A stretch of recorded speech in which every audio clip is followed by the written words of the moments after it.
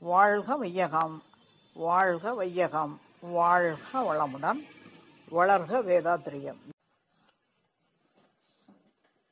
கவியன் நூத்தி எண்பத்தி ரெண்டு தெளிந்த வாழ்வு.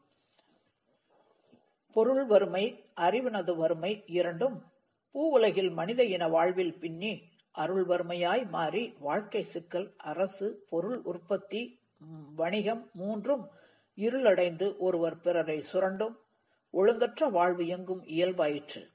மிரள்கின்றார் மக்களெல்லாம் மேன்மைக்கான மெய்விளக்கம் விஞ்ஞானம் இணைய வேண்டும். பூ உலகமானது சுமார் நானூத்தி ஐம்பது கோடி ஆண்டுகளுக்கு முன் தோன்றியதாக ஆராய்ச்சியாளர்கள் கூறுகிறார்கள்.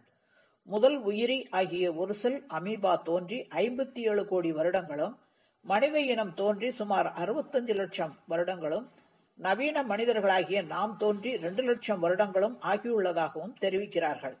ஒவ்வொரு மனிதரும் பிறப்பதற்கு முன்பாகவே நிலவுலகில் அவர் வாழ்வதற்கான அத்தனையையும் முன்னேற்பாடாக இறைநிலை அமைத்துள்ளது. மனிதனின் ஆறாவது அறிவை பயன்படுத்தி தானும் வாழலாம் மற்றவர்களையும் வாழ வைக்கலாம்.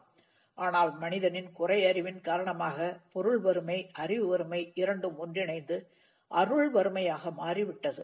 அதனால் அரசாட்சி பொருட்கள் உற்பத்தி வாணிபம் ஆகிய மூன்று துறைகளும் அறியாமை எனும் இருள் சூழ்ந்துவிட்டது ஆகவே ஒருவர் பிறரை சுரண்டி வாழும் வாழ்க்கையானது உலகம் முழுவதும் இயல்பாகிவிட்டது மனிதர்கள் அனைவரும் கலக்க நிலையில் மிரட்சியுடன் வாழ்கிறார்கள்.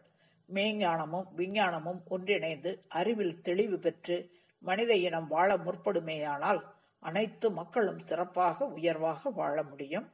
வாழ்க வளமுடன்.